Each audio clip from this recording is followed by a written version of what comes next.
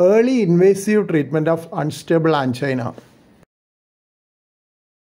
Early invasive treatment of unstable angina is recommended in high risk patients with recurrent angina at rest or low level activity despite maximum medical therapy, indicating an unstable plaque or critical coronary narrowing, elevated troponin suggesting ongoing myocardial damage, new ST segment depression at presentation, recurrent angina with heart failure, high risk findings on non invasive stress testing, that is, in relatively stable patients, depressed LV systolic function with ejection fraction less than 40%, hemodynamic instability, angina at rest with hypotension, sustained ventricular tachycardia, history of percutaneous coronary intervention within the past 6 months, prior coronary artery bypass grafting.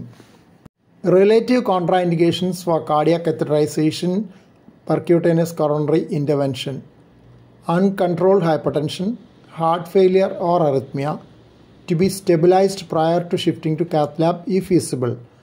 Sometimes stabilization may not be possible without revascularization.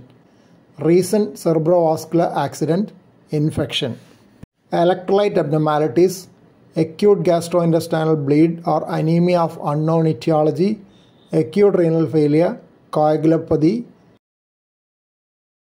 pregnancy, medication toxicity, uncooperative patients.